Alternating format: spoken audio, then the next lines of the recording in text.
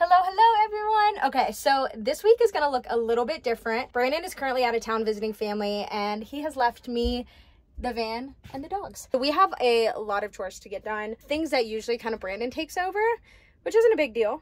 We're gonna do it together. So um, let's get started.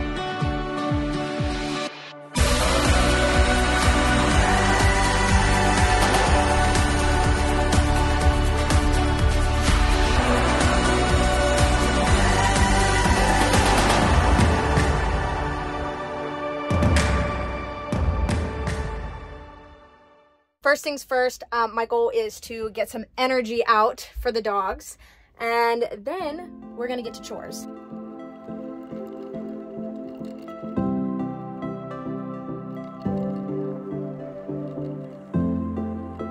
All right, are y'all sock, sock, then shoe, shoe people, or are you sock, shoe, sock, shoe? If you know what I'm talking about.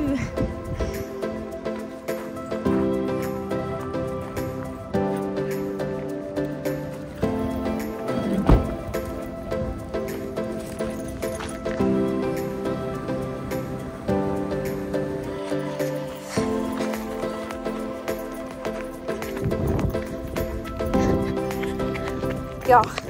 They both freaking they both hate running. So this isn't lasting long. They're both very annoyed with me. Because he's not having a good time.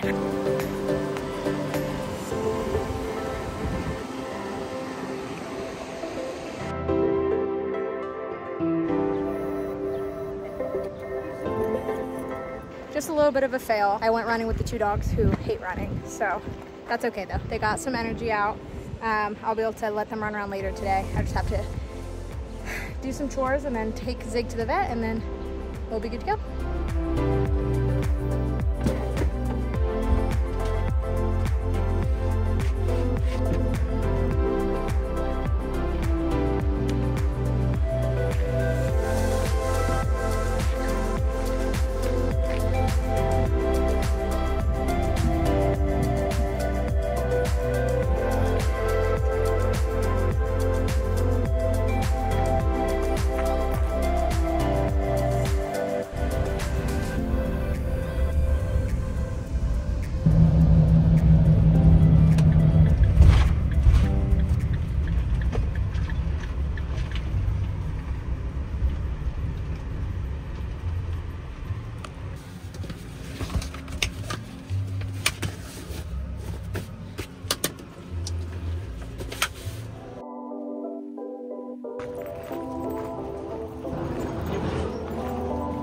Do this, man.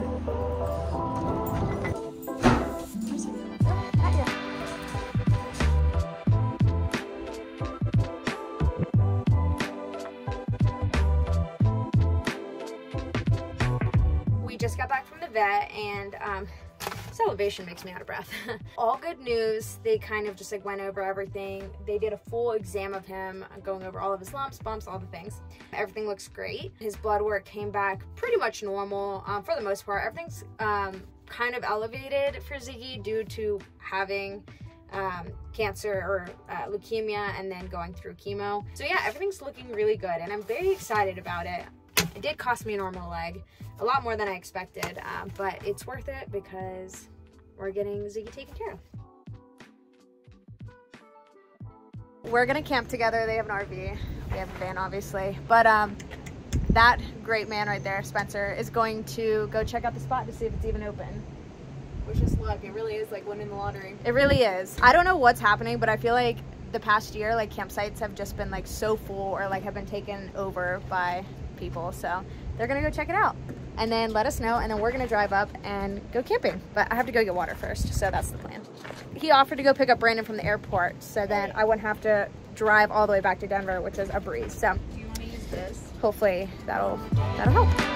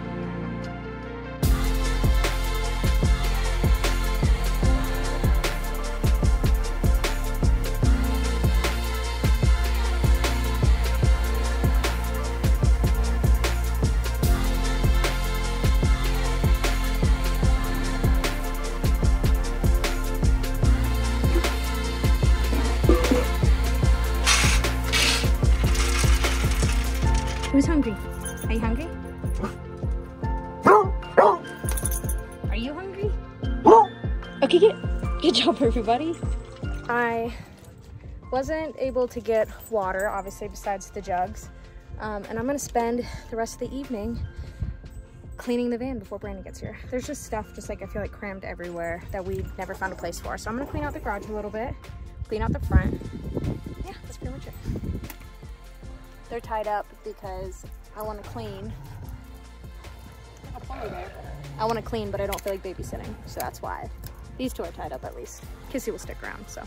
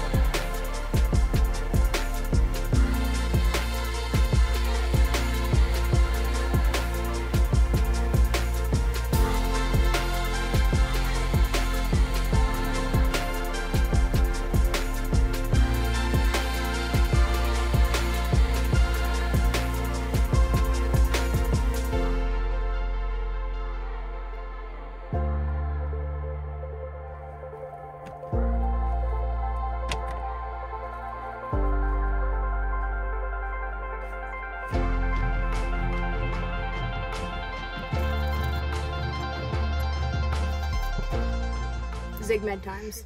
Open wide. Now. Good job. Hmm.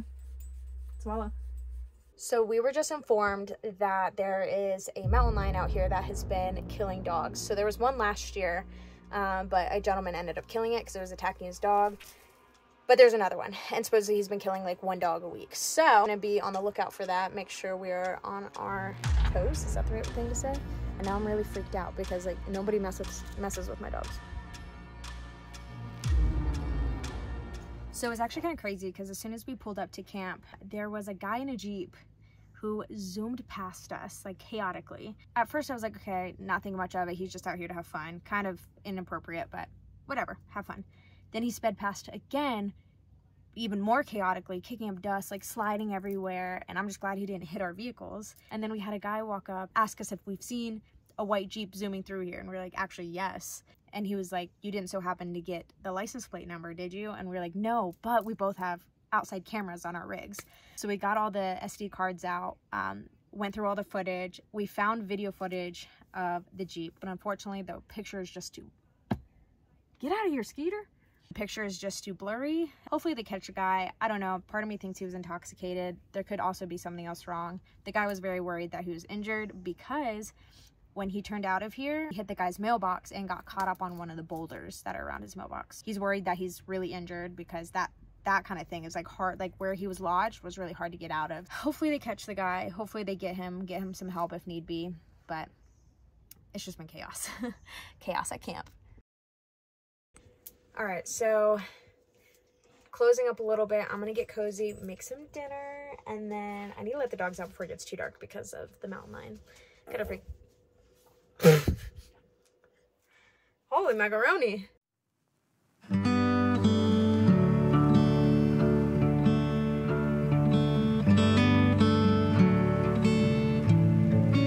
About to cook, so I gotta turn on this bad boy. Our fan is broken currently, or it doesn't really work with the remote.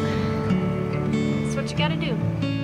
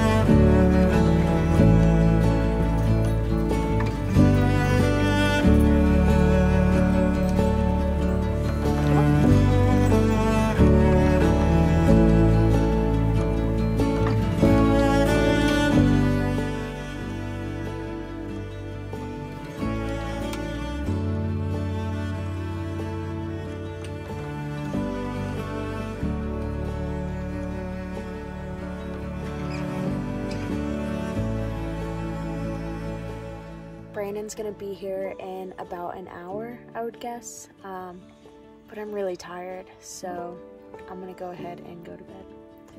But I'll see you guys in the morning.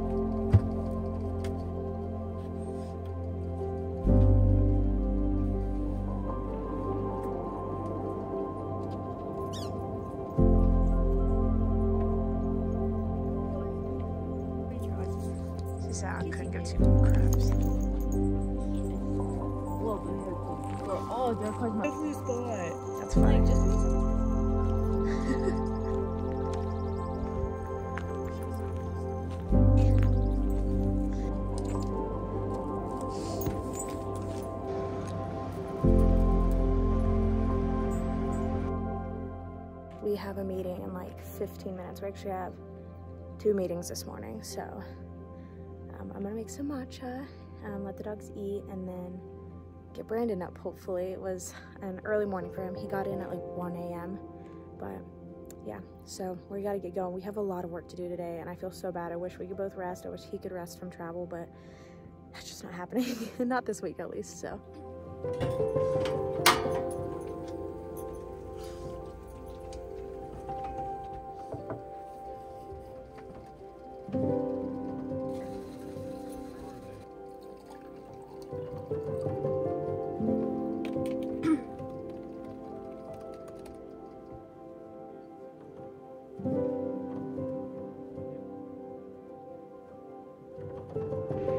So I'm about to make some breakfast and then we're going to head out and go find some water. Fingers crossed that we actually find some. Um, unfortunately, the next town over that has water is like 40 minutes away. So we're gonna be trucking pretty far. So I'm gonna make breakfast right now. I don't really know what I feel like making slash like, I'm just feeling really like tired and blah this morning. So we're just gonna go through the fridge and see if we can find something quick, I guess. I don't have any yogurt. Usually I do like a oatmeal yogurt kind of bowl in the morning when I'm not like don't really feel like making anything, but that's not really an option this morning. So we shall see.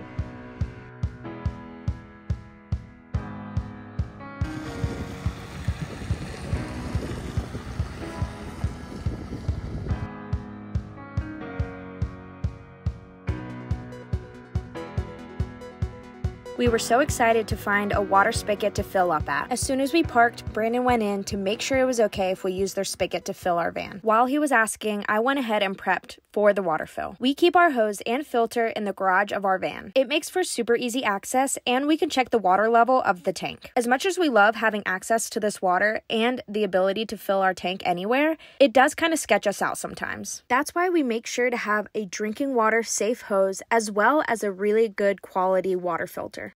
This video is sponsored by Kohree. We use a Kohree RV water filter not only because this filter can enhance the purity of water, but it also filters out many impurities and leaves no bad taste or smell. This Kohree water filter has international NSI and BPA free certifications, which means it can remove chlorine, odor, color, VOC, THM, and more. Another thing that's important to us is making sure that it doesn't block the water flow and slow it down. This water filter is large and does not affect the water supply at all. It's also very easy to install and is even compatible with RV models. We really don't want to mess around when it comes to our drinking water, especially when it comes to us and the pups. We want what's best and what's healthiest, so that is why we go with the Kohree RV water filter. Check out the link in our caption to get your own Kohree RV water filter.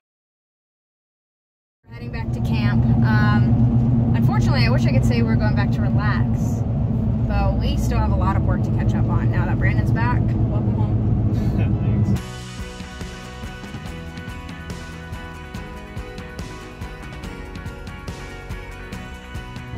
We're backing up because there's a freaking moose.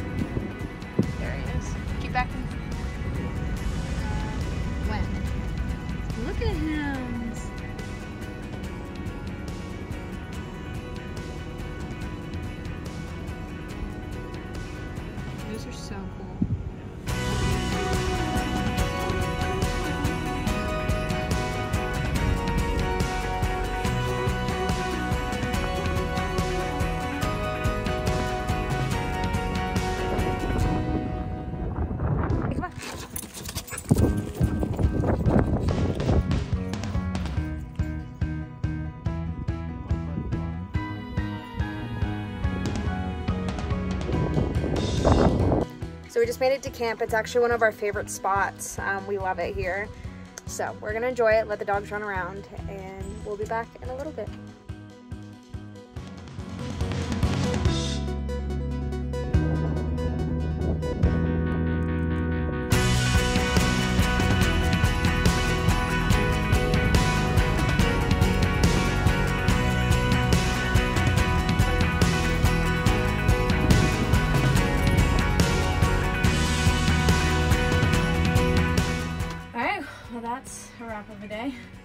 Been a day. I'm glad you're home. I'm glad to be home.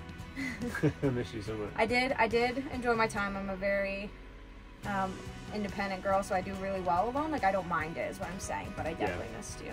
It's not the same. I miss you too. Camp wasn't the same, Yeah. especially camping by myself. It was like at the end of the day, it's like I have the dogs, but I was like, man, I really wanted someone to share this sunset with. But Right. I'm just glad you made it. Glad to be home. Well, I think it's time for bed. Let's go. Good night, y'all. Good night.